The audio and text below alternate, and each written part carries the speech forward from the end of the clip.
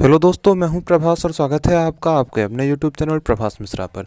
दोस्तों, आज मैं आपसे बात करने वाला हूँ एक नई ट्रेन के बारे में जो कि रेलवे ने दी है नई दिल्ली के लिए, वो भी बिहार से।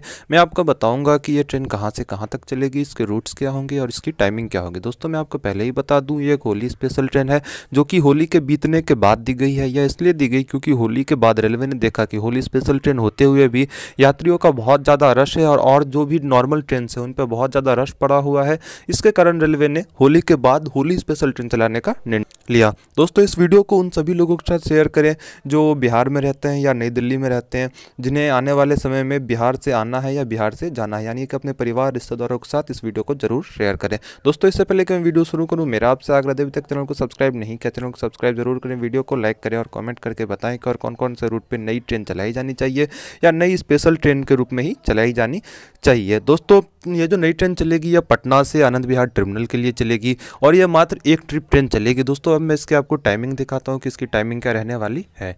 दोस्तों, ये ट्रेन पटना से चलेगी पंद्रह मार्च को और इसकी जो टाइमिंग रहने वाली है पटना से पटना से खुलेगी रात के आठ बज के पच्चीस मिनट, यानी बीस बज के पच्चीस मिनट पे। और दोस्तों, फिर ये पटना से आरा, बक्सर, पंडित दीनदयाल उपाध्याय जंक्शन, प्रयागराज, यानी कि इलाहाबाद जंक्शन, कानपुर, अलीगढ़ होते हुए आनंद विहार आपको ये पहुँचाएगी अगले दिन।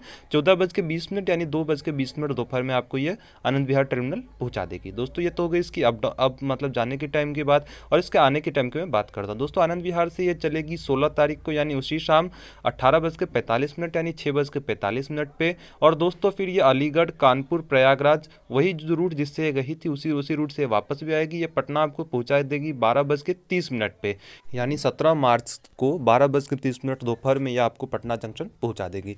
दोस्तों, ये सारी अपडेट्स थी जो मुझे आपको देनी थी। ये होली स्पेशल ट्रेन है, मैंने आपको पहले ही बताया। दोस्तों, कैसे लगा आपको आज के वीडियो, कमेंट करके ज़रूर बताइएगा। इसी तरह और वीडियो देखने के लिए चैनल को सब्सक्राइब कर दे, वीडियो को लाइक कर दे। दोस्तों, आज के लिए बस इतना ही। मिलेंगे फिर एक नई और अनोखी जानकारी के साथ तब तक जुड़े रहे हमारे साथ। तब तक के लिए जय हिंद, जय भारत।